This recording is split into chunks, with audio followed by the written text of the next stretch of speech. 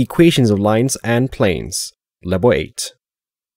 In this video, we will learn how to find the angle between two intersecting planes.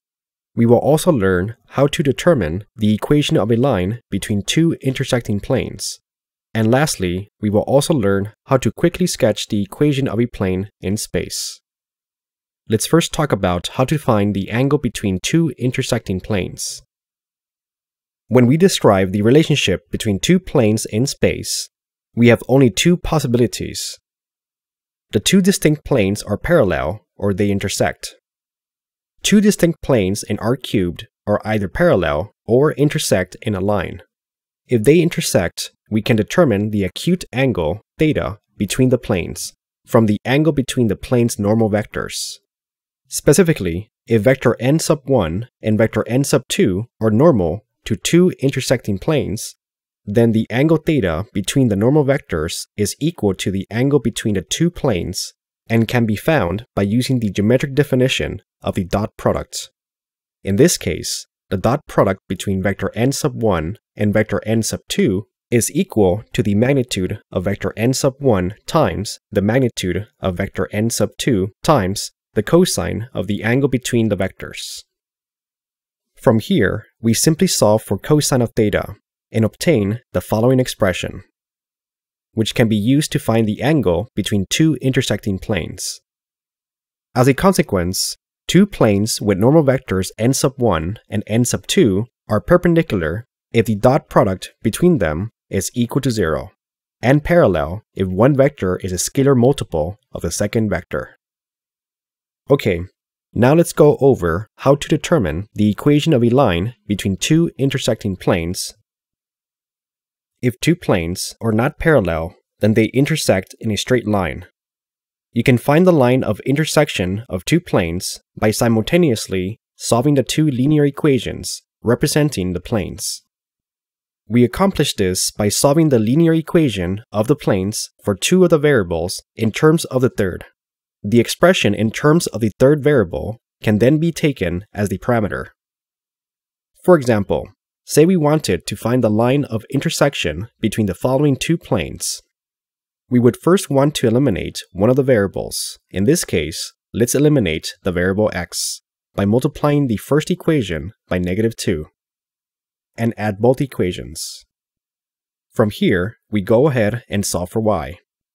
We then use this expression for y and substitute it into one of the original equations. Let's substitute it into the first equation. From here, let's solve for the variable x. Notice that we now have x in terms of z and y in terms of z.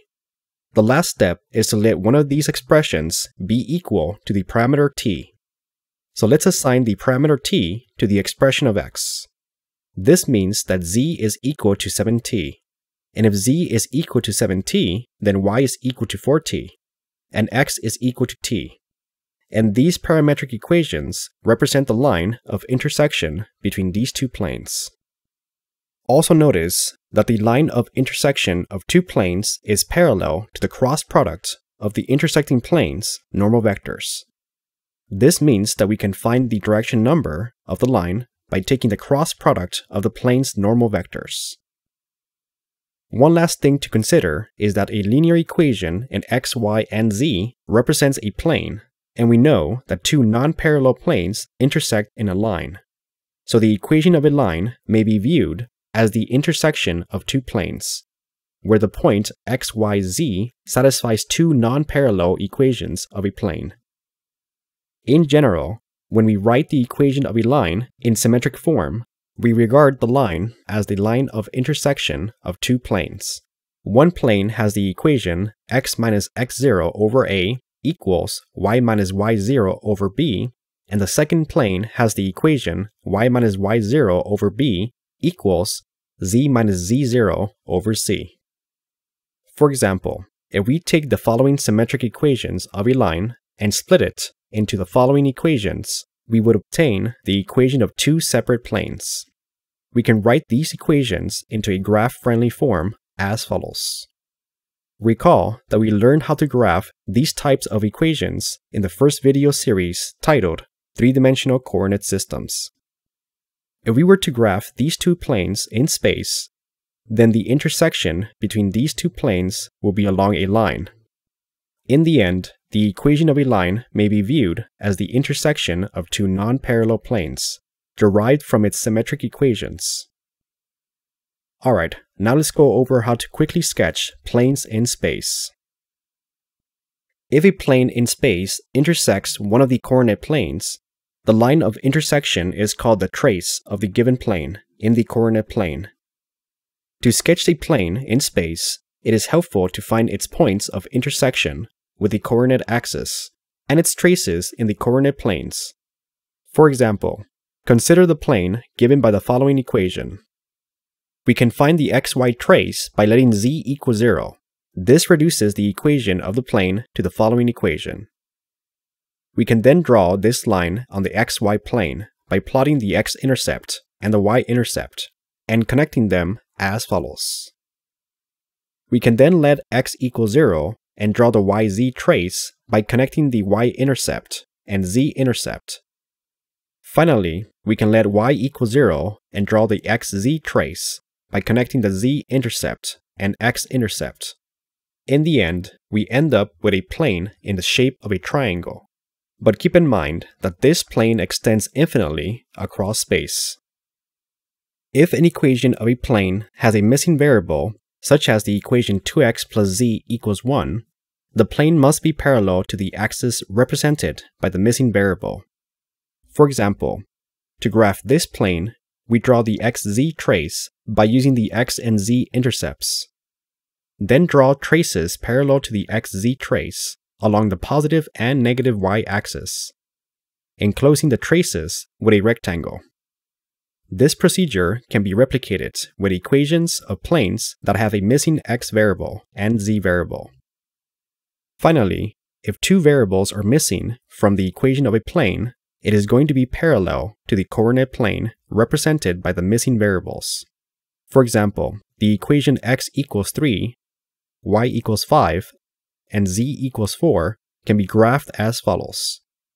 Notice that the plane x equals 3 is parallel to the yz plane.